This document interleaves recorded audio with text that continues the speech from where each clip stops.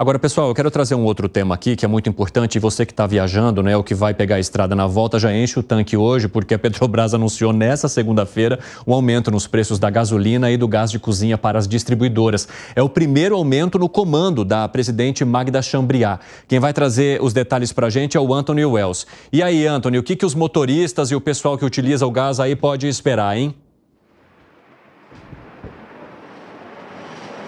Fala, Evandro, tudo bem? Boa tarde para você, boa tarde para toda a tropa aí do estúdio, todo mundo que está acompanhando a gente aqui no 3 em 1. É isso, são reajustes que passam a valer a partir de amanhã, né, terça-feira, dia 9 de julho, mas são aumentos apenas para a gasolina e o gás de cozinha, tá? Então, pelo menos por enquanto, não há nenhuma alteração aí no preço do diesel. A Thaís Brito, nossa editora aí na redação, inclusive criou uma arte para a gente destrinchar esses números um pouquinho melhor, para a galera entender de fato o que vai acontecer acontecer a partir de amanhã. Então vamos lá. A gasolina vai ter uma alta de 20 centavos, né? Pouco mais de 7% aí para as distribuidoras, portanto, o litro chega a pouco mais de R$ reais e a alta nas bombas será de 2,5%. No caso do gás de cozinha, nós estamos falando de um aumento de quase 10%, né, 9,6%. É, o botijão de 13 quilos vai ficar R$ reais mais caro, custando R$ 34,70. A gente está falando de, do, do, primeiro reajuste né, é, de 2024.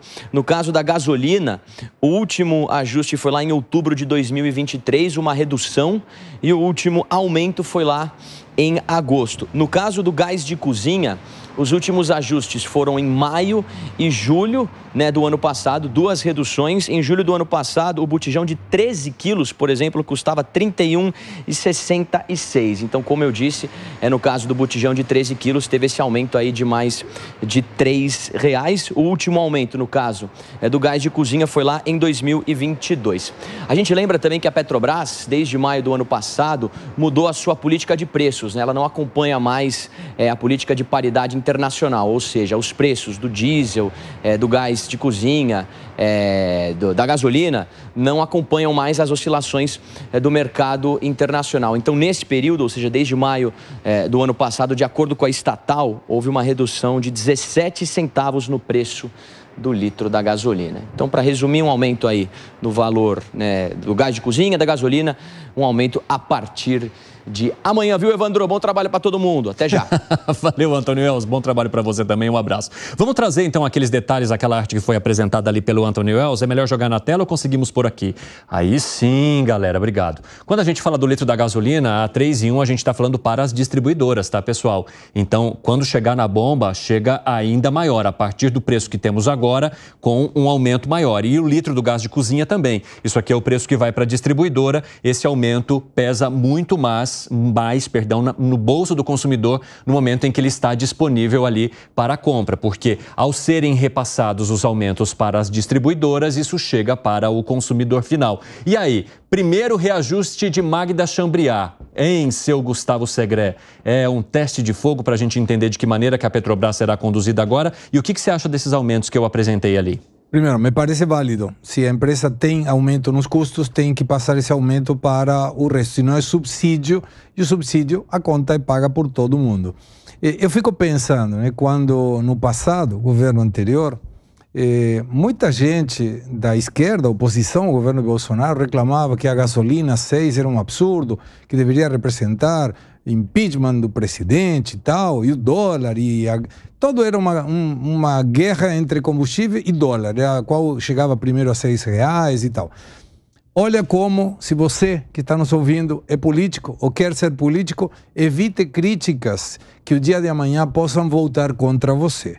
Porque agora a oposição, antes governo, poderia aproveitar a mesma situação e dizer: e aí, gente, olha só, com uma inflação de 4%, o gás de cozinha aumentou 10%. Isso não é para defender a justiça social e ajudar os pobres, porque quem usa prioritariamente o botejão de gás é a gente com menos recursos. Então, tome cuidado na sua crítica. Não seja que o dia de amanhã, aquela crítica que você fez ao governo anterior caia no seu colo. Você acha que o segredo tem razão, Piperno? Bom, é, primeiro que alguns preços desses que foram anunciados hoje, eles tiveram redução ano passado. Claro. E agora aumentaram mais agora, é? Não, então, ué, Diminuíram um e agora pelo outro, mais. eu acho que. E depois é o seguinte: a gasolina não chegou a 7 como chegou lá atrás, 7 e pouquinho e tal, né? Rússia e Tem Ucrânia. lugares que sim, Rússia e Ucrânia, Não, tem lugares que pós-pandemia. Ah, Rússia e É, Rússia e Ucrânia, pós-pandemia. não, mas- Não, dá um contexto, senão fica parecendo que é uma decisão política para beneficiar. Chegou a 7 porque tinha razões econômicas E para diminuir, isso. diminuíram os Tinha razões impostos. para O preço isso. do barril chegou a 130 é verdade. Piperno teve uma guerra, início explodiu a guerra Rússia e Ucrânia. Acabei de falar, o preço do barril chegou a É isso, 130. isso. Acabei de falar. Ah, bom. Ué, ué, eu tô falando aqui. Então eu tô dizendo o seguinte, não é. Agora não tem mágica. Eu, tô- eu diria que naquele momento, outros fatores contribuíram aí para esses. Enfim, para esses reajustes, a inflação estava mais alta e tal.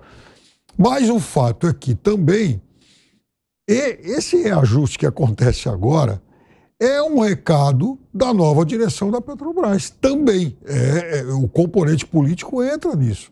Além do, enfim, reajuste do E aí eu te pergunto, Piperno, até quando? Porque o que havia até então, né, e que pode ter levado inclusive à demissão de Jean Paul Prates, é o fato de ele estar querendo mais seguir o mercado dos acionistas do que, segundo o governo federal, a população brasileira. A partir do momento que você vem com um reajuste como esse na gasolina, que atinge mais a classe média, que o governo Lula quer alcançar por conta ah, das pesquisas de popularidade, mas principalmente a classe mais pobre que utiliza o gás de cozinha, o que, que ele vai fazer depois? Então, esse é o primeiro recado. Agora a questão é saber como é que vai se comportar daqui para frente. Vamos ver qual vai ser essa política daqui para frente, até porque ela entra em um momento em que o dólar está mais alto. E isso também faz diferença. O que, que você acha, Zé Maria Trindade? Como é que vai ser daqui para frente? Eu digo em termos de política, mas também em termos de como o presidente da República vai receber essa gestão Magda Chambriard com esse aumento. Pois é, aqui em política se diz que ninguém deve cuspir para cima, porque vai cair na sua cara, né? E eu acho que existem pelo menos é, é, três coisas certas. Uma é a morte, que vem mesmo, a outra é o aumento do preço da- do, do combustível, eu nunca ouvi falar que não vem. E a outra, eu acho que é o Piperno e o Alan se divergirem sobre o mesmo assunto, né? Então tem umas coisas que são certas. Uma delas é essa do, Ah, gostei. Agora, Tão agora, certa é, quanto a, política- morte e a discordância do Piperno com o Gani. Muito bom, Zé. A, a, a, a, a história real é a seguinte: isso é até positivo para o governo. Que a mensagem do governo Lula de aceitar a realidade e de uma lei intransponível, que é a lei de mercado. O que, que você acha, Gani?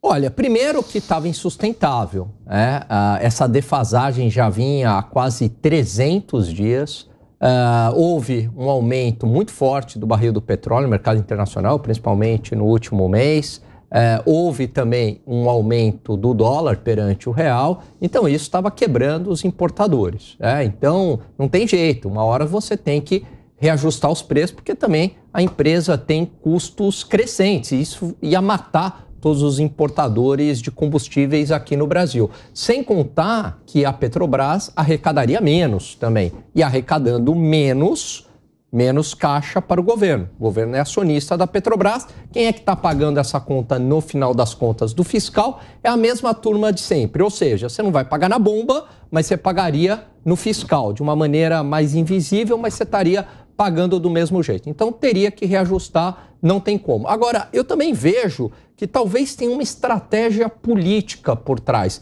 Veja que esse reajuste vem justamente numa semana onde o governo baixou o tom eh, em relação às críticas ao Banco Central, onde o governo também eh, deu uma sinalização, mesmo que pequena, no ajuste pelo lado do corte de gastos, né? aumentando a eficiência ali daquelas pessoas que eh, recebem benefícios e não deveriam.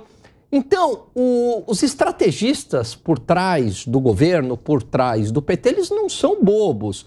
Eles entendem que se perderem o mercado financeiro, como perderam no governo Dilma, pode ser um problema para o governo. Então, talvez, vamos aqui acalmar o mercado, vamos sinalizar um reajuste, vamos parar com as críticas ao Banco Central, vamos eh, uma sinalização do corte de gastos para acalmar esse mercado, não ter efeitos reais na economia, a gente também capitaliza politicamente.